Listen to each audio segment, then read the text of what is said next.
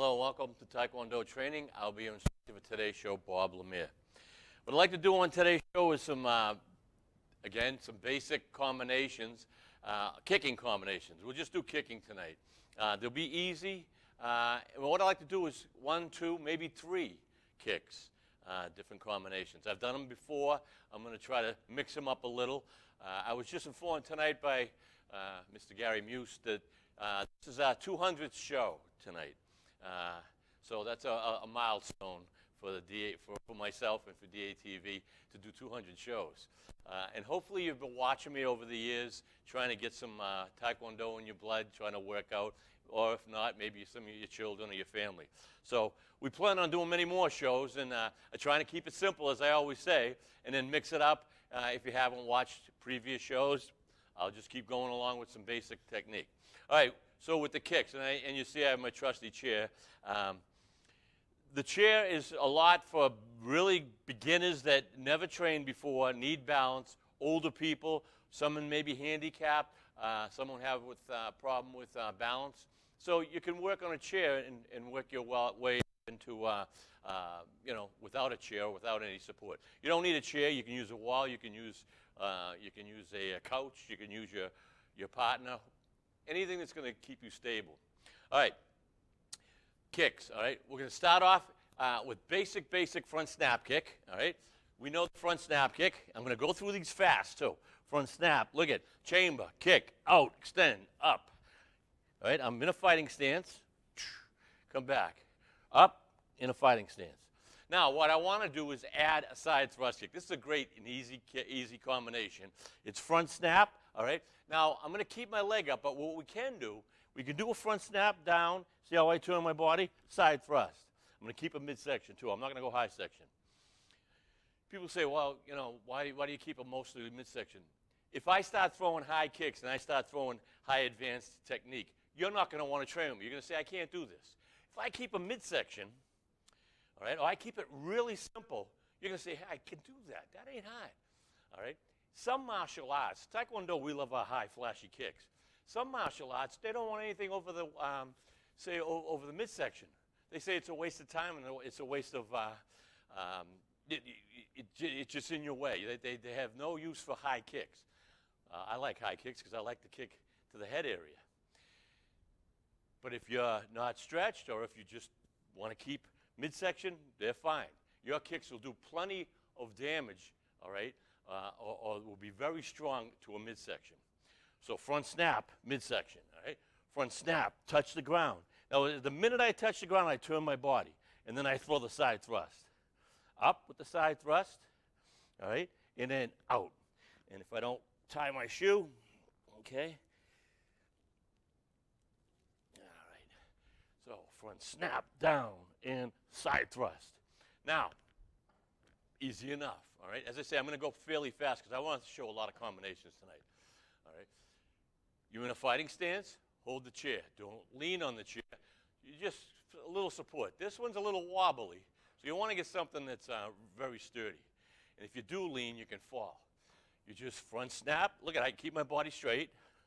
Turn, side thrust. Right. Front snap, down, side thrust. Then you pick up speed. So as you do it, you start off slow. Then you pick up speed, all right? Keep it midsection. Right? You want to do high section, do high section. There's no big difference, all right, uh, if you have the stretch. Once you start feeling comfortable with that, uh, touching the ground, front snap, chamber. Look at I didn't touch the ground, side thrust. That's the combination. Front snap, side thrust. This is one of the beginning combinations we do when we teach combinations at the school. Um, probably about three or four months into it, we want to get you, we want you to make sure your kicks are looking good before you do combinations. But if you feel comfortable, all right, one, see how I, I didn't, I didn't throw the front snap and keep my foot on the ground straight. I can't, because then I can't turn. So you have to learn how to pivot, right? And pivoting, you can even practice the whole thing on, see how I, I pivot? I pivot as I turn so that I can turn my hip into it and I can get that kick straight off. All right, so that's a front snap, side thrust. Pretty easy, all right? Front snap, side thrust. Then come down. After you do your kick, One, two. Just land. Look at it. All right. One, two. And down. Come back into a ready stance or fight. Keep, keep straight. Do not, try not to have a front snap side thrust and land. You can't land like that after any kick. You can't do this. The minute you do that, you're off balance and your gravity sucked you right into the, to, to the ground and you can't move around. You want to stay up on your feet, you know. Front snap side thrust. Now, just right after the front snap side thrust, we do a front snap front round, all right? Front round comes around this way. Side thrust comes straight, all right? Front round, all right? Front round kick. All right, so if you do a front snap, front snap's good because it sets you up. It's almost like uh, boxers, they, they, they set you up with a jab. They keep this in your face. Right? A front snap, if it's coming in, it's almost like a jab. And it could set you up for any other kick you want. Right? And it keeps your opponent away. Then all of a sudden, boom, you hit him with another. All right, so front snap, touch the ground. See how after I do my front snap kick, you notice I keep my my, uh, I don't put my foot on the, uh, my heel on the ground. I keep my feet up this way, on the ball of my foot. All right. So, front snap, touch, then front round. All right.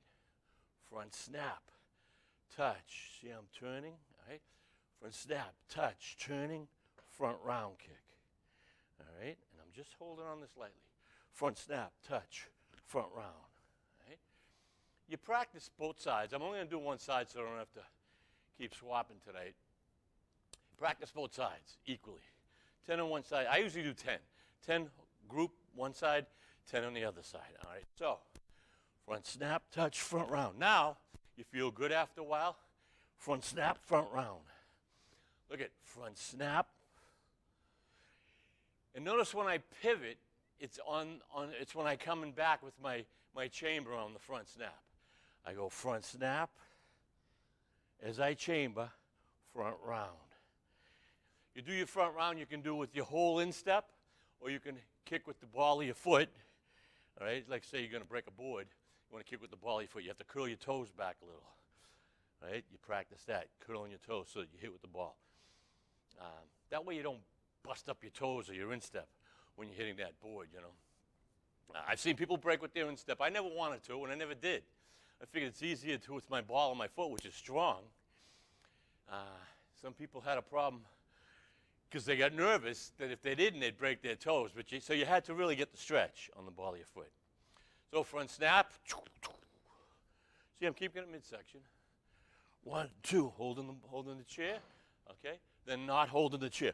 You, when you're not holding the chair, you're going to keep. You want to stand straight up as you can, as as, as uh, straight as you can. You're going to tilt a little, and you're going to bend a little because of the stretch, but you, um, you don't want to bend too far and throw the kick. You know, I can't even do it because you lose balance. So if you bend and throw a front round kick, now you're fighting your balance. You want to throw the front round kick? See I'm kind of straight? As I say, gravity's our enemy when it comes to Taekwondo. you got to learn how to fight gravity. Uh, actually, not fight it. You have to be one with gravity so that gravity keeps you straight. The problem is you need a kind of a little stretch. That's why we're only doing midsection. I'm not going crazy high section, so you're not bending, all right? So one, two. Look how easy that is. And I can make it nice and relaxed, too. Right? Then I can go fast and go slow. That's front, front snap, front round. Okay? Uh, another one, inner crescent, touch the ground, side thrust. All right? So instead of front snap, side thrust, it's inner crescent block. You blocked, then you threw a side thrust. I can go on combinations all night. There's just, it's infinite number of combinations, especially one and two. Then you add three, you can do combinations in any order you want. If you try four, you're right, you know. It's like playing the lottery. There's a million different uh, ways you can win here. All right, so, all right, you hold it, say we're holding the chair. So when I do an inner crescent, I come in on a, I come in on a 45 degree angle. I hit my target or I block and I come back at 45 and bring it in. All right, so one, two, down. See how I turned as I was going around? All right, so one, down, and two, side thrust kick. So I blocked, Somebody had something, I blocked it out of hands, they're wide open, side thrust to the midsection. All right, one, down, high section if I want. Block, midsection, low section, excuse me. When you do low section, you're still chambering high, coming down. All right, you're still chambering high, coming down. All right, just because you're going low section doesn't mean you want to not chamber. Right? You're not going to get any kick. Right? You got to chamber. You can't have it hanging out. So after you throw one kick, you chamber for the next. You're going to get fast at that, and your chamber's going to explode. You're going to go ba ba ba. All right. So without holding block, notice I'm in a fighting stance. So, bah. That, that can be a kick too. Inner crescent, it can be a kick to the midsection. Problem is, it comes in like kind of flat footed, so it's kind of a slap. But if you hit it hard enough, you're hitting the floating rib or you're hitting the ribs, you can do some damage, all right? So here, boom, down, all right? It's all one motion, boom, boom, boom, all right? One, down, two, all right? One, down, two. When you throw that side thrust, make sure you're getting a good knife edge. A lot of times, uh, I tell my students, brand new students, for your kick, side thrust, all right, put your foot this way. See, there's my knife edge. As you're going up, keep it there. As you're going out, keep it there, all right? Going up, out, keep it there, and bring it back. After you throw any kick, chamber back. All right, so I'm going one, down. See how I chambered, brought it back? I'm ready for another kick, always. All right. That's inner crescent kick. Inner crescent, down, side thrust. How about we'll do the opposite? Outer crescent. So inner crescent, you're kicking with your instep. Outer crescent, you're kicking with the outer part of your foot, okay? Um, use it as a block or use it as a, as a kick. Outer crescent, I, always, I used to like to do outer crescent to the face, all right? Used to have a high section outer crescent to the face or to the head area. We're going to keep it midsection though. All right, one, 45 to a 45. One, two, down and back. See how my foot's up? It's not out this way. I want to get the block or the kick. So one, down, two, down, back. One, down, two, down, and back. Can't be easier than that. See how you hold this, not too hard. Just keep your body Go slow and back. And as you as you start picking up speed, start feeling comfortable, your body's going to start.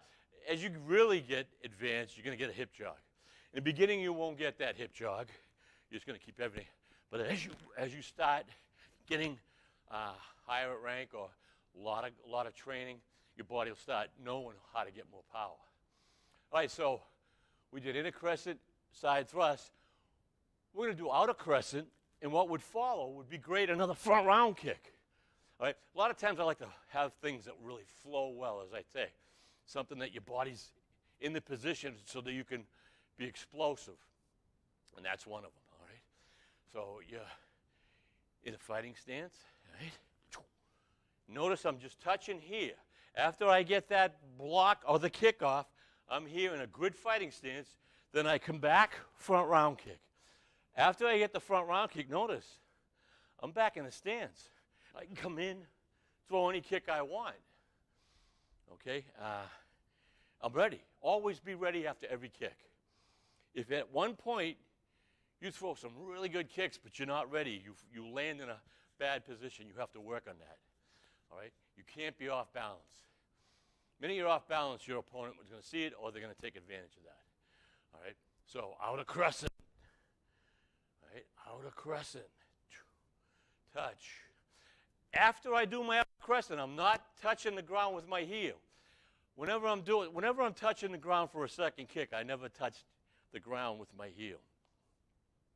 I'll touch the ground, you know, almost close, but my heel doesn't touch. When my heel touch touches, that means I've lost a little time. One, eight, one, down, almost, and up, then I explode off it. Here. See, it looks like I'm touching, but I'm not. The heel, and then I explode with the front round kick. Then I get ready to come in with another kick. That's outer crescent front round. Four combinations we just went through uh, in 15 minutes. A little advanced, it's a little advanced, but if you, if you go slow, if you hear what I'm saying, 45 degrees on the outer crescent, back, in, front round. Now, outer crescent, front round kick. Outer crescent, front round kick. Right? Outer crescent, front round kick. Keep it nice and easy. Right? Outer crescent, front round kick without touching. Right? When you do exercises like this, all right, especially keeping your leg up, I used to like to hold on to something, just keep throwing side thrust this way. Now, try that. That's a good exercise, or a front snap kick. After 10, especially if you, you, you're not used to it, you're going to be dying. You're going to be exhausted. Don't do any more than that the first time, because then the next day you're going to be walking like this. Your muscles are going to be sore. But what a way to increase the muscle in your legs, your stomach. It gives you, it, it's like doing sit ups. You start doing a lot of these kicks, combinations, or, or practicing keeping your leg up, right? Practicing keeping your leg up. Hold the chair if you have to. If not, practice for the balance, all right? Your, your stomach muscles, every muscle down, that's from your stomach all the way down is getting worked. Right? You're getting a great workout for it. Even your upper body, you're tensing up. As you're doing this, you're tensing. You're tensing your chest. You're testing your, everything's tensing up because you're kind of in the midst of, of an explosive kick or, or even practicing. Bah, bah, look at So everything wants to tense up a little as you're keeping your balance. Uh, and boy, what a workout. It's a cardio workout, like running, uh, jumping jacks, skiing, cross country skiing. It's like that, swimming, but you're training and you're learning the martial arts. You learn how to kick. Thing is, when you train in martial arts, you learn how to kick, you're pinpointing where you're going to kick also. So if I throw a front snap kick, that front snap kick's going to go in the same spot that I want it to go. All right? Beginning, you're going to flail, or you're not going to know where it's going to. But as you, as you get stronger and your muscles, muscle memory, as your muscles get stronger and they, that muscle memory takes over, you pick a spot in the wall, you pick a pad that your friends are holding. Uh, that's why when you see board breaking or multiple board breaking and someone just, pop, pop, pop, pop, I used to like to do that. Do five, six, seven boards in all directions. But just one board, you don't have to go crazy. You're showing them that you can pinpoint your kicks all right? Whether it's high, low, you know, midsection, in any direction. And that's done with muscle memory and constant, and you practice in those kicks, okay? So, we practice, how about front snap kick? As we do the front snap kick, we do a side thrust to the side. All right, one, two, all right? Front snap, all right? Front snap, touch. I gotta keep remember I want to touch first to show you that. Front snap, touch, side thrust. Right? Front snap, down, touch, side thrust. Now you're doing that kick from like a ready stance if you want. Someone's coming in. You can do it from a fighting stance. Someone's coming in here, front snap. Their friend's coming over there, side thrust. Their friend's coming from the back, back kick. All right? Bum, bum, bum, bum. It's three. One, two, three. Back kick. When you do the back kick, you want to kind of look peripherally, your peripheral vision. You don't have to turn all the way back. You've already kicked this guy, so just turn 45 and you'll see him. All right? So learn how to practice, uh, do some uh, peripheral vision exercises also. So what you, what you do is you take your hand or your finger that's out of view, and as you look straight ahead, see when you start seeing your finger without looking. Now, you're looking straight ahead. And I'm seeing my finger right here. All right, so it's a 90 degree angle from my body right here. So this is my peripheral vision. If I go like this at 45, I can see that finger moving, I can see everything. But I can also see an opponent here in the front. Now, if I go like this, I can see the opponent in the back. Right? You don't have to turn directly to look at them. And you can practice that, you know. Like from here, right from here, looking straight ahead, I see the flag. You say, how can you see the flag? It's way over there. Your peripheral vision. All right? And when we practice kicks or multiple kicks, front to back, front to side, you want to use that peripheral. And when I say use it, if you're doing front to side, look at 45 degree angle. If you're sparring two people, right, you, you make sure that um, if you're in the middle of them, right, you can see both of them and you keep them both at a distance. When you're sparring two people, fighting two people, you try to get around the weaker one. All right? So I'm sparring, I'm sparring this person and another person that's up in front. All right? Once I start sparring, I, I, I move around to the this side and I block off the other person. And I start sparring this person. And you say, whoa, the other guy's going to come around. It ain't that easy. Because as I'm sparring this person, he's going to come around. All right? I, I can actually swap and start sparring him, keeping both of them behind each other. You don't want to spot two people. And you don't want to be in the middle of two people. All right? If, if I'm in the middle of two people here, I can't see. Okay? I can't see. Um, I can't, I can't see either one of them, all right, if I'm in the middle of two people, or I can't see uh, their kicks as well. I want to be more of a, of a 45 degree angle, all right? So try to remember that. Um, I get distracted easy. All right, so we're here. We're here, all right? Hands are up. Hands are up, all right? Front snap, side thrust, keeping the hands up. One, down, two. Get ready. All right, look at it. I can go front snap, side thrust, touch the ground, front round kick. All right, or I can go front snap, side thrust, front round kick. Right, hold the, hold the chair if you want. So you can touch the ground, hit, not touch the ground. There's a combination of, of, of thousands and thousands of different ways. Practice the ones that you like. Um, uh, that are going to be that are going to fit your body. All right, practice the ones that you have a body type and you like to do this, and your stretch for this is practice those really well.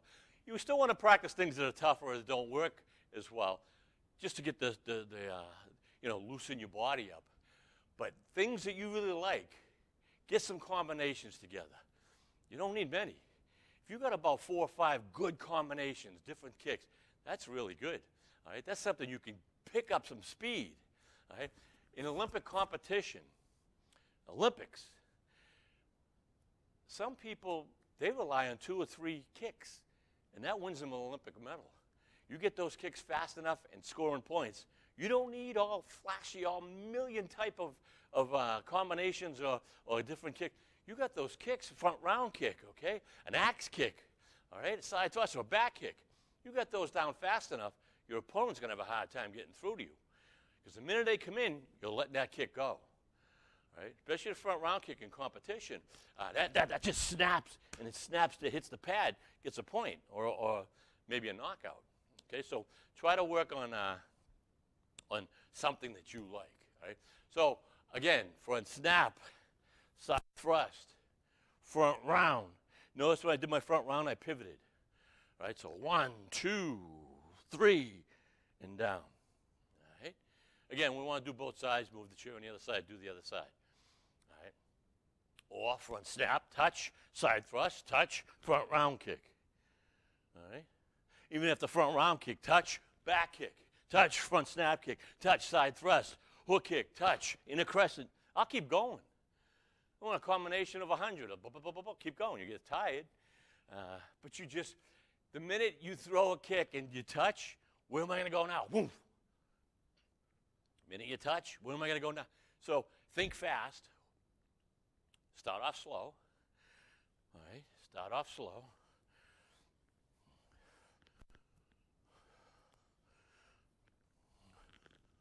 All right. Hold the chair if you have to. All right. Once you feel comfortable and you don't need the chair, you don't need the chair. See? And then you, you just keep going. The minute you touch. Then work on keeping your leg up. That's the tough thing. Back kick, front snap kick, side thrust kick, front snap kick, okay, front round kick. You just keep going and going and trying to get a flow. And as I say, the minute you touch and your body's in a position, what's a, what's a good kick from that position? All right? A lot of times you're going to try to throw a kick and you're going, wow, I'm way off balance. They- They didn't go together. All right, so you want to try to work on stuff, anything that's going to keep your balance and your kicks going. And the more you kick, right? so we've done about, I don't know, six combinations, seven combinations, different. I went fast, um, but all basic kicks. All right, front snap, side thrust, front round, inner crescent, outer crescent, uh, maybe a little back kick. All basic kicks, work on those. You can go midsection, go low section. Want to go high section, just do it. You want to stretch good 15, 20 minutes before minimum. And when you're done, you know, cool down for another 10 minutes of stretching. Um, and, you, and you'll feel good, and your body won't uh, tense up, and you won't, you know, strain some muscles, or they say pull muscles or tear muscles. You won't have any of that. Especially if you're not used to this, you throw a kick when you're really cold, and your muscle can tear. A, tear in your muscle is so much, it's so painful. And then you have a scar tissue after that. So you want to slowly, slowly loosen them legs up. And over time, they're going to get nice and loose. They're already going to be stretched, all right? And as, as the cold weather comes, you're going to stretch and you're going to feel comfortable. Warm weather's even better, all right? So you want to do as much stretching as you can. When you go to the gym and you're lifting weights, whatever, do some stretching in between each exercise, all right? Do some stretches. Try to stretch, especially your calf muscles. Oh boy, those like to take a beating sometimes. Up in here, in your groin area, up in here, you don't want to you want you don't want to throw a kick and have that tear. It takes the older you get, the longer it takes to heal too. Just so you remember that. It's about all the time we have tonight. Train hard and have some fun.